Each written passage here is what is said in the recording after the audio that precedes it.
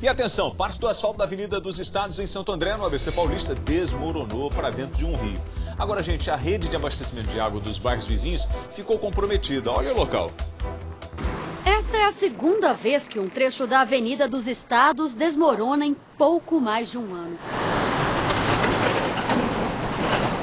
No início do mês, o asfalto cedeu nesta parte, abrindo uma cratera no sentido Mauá. Enormes blocos de concreto foram parar dentro do rio. A avenida é a principal ligação do ABC Paulista com a capital. Um asfalto desse aí que não tem 3 centímetros. Por segurança, duas das quatro faixas estão interditadas.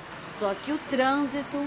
Tem trânsito todo dia, né? A gente fica prejudicado porque isso atrapalha o nosso trânsito, né?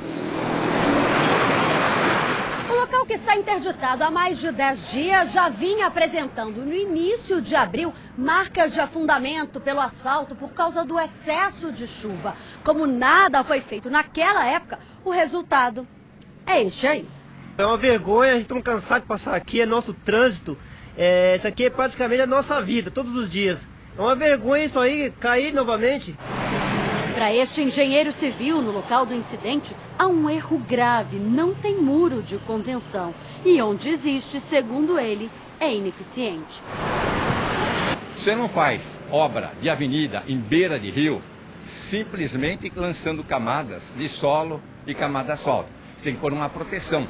Você olha o outro lado e você vai verificar que fizeram uma obra ali de contenção. Então, primeira coisa, tem que fazer uma obra de contenção. Tem diversas soluções de contenção. Aí sim você faz uma avenida. João Virgílio alerta também para a quantidade de trincas no asfalto, o que denuncia a falta de manutenção na via. Nós encontramos muitas trincas que permitem a entrada de água e essa água é que vai colaborar para a ruptura do talude. Vedar trinca é a coisa mais barata que existe na face da terra. É um pouquinho de sela trinca que um operário pode lançar um regador.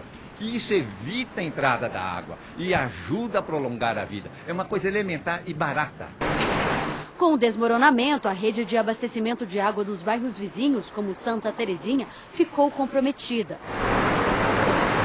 Obras para reestruturar toda a avenida precisam ser feitas o quanto antes, dizem os especialistas. Se não forem feitas, além de prejudicar a vida dos moradores e motoristas, desmoronamentos como esse continuarão sendo rotineiros. Bem mais rápido possível, porque senão vai ficar complicado. Não existe essa desculpa de que na via passa veículos pesados. A via foi feita para veículos pesados, não para carrinho de pipoca. Carrinho de pipoca é lá no jardim.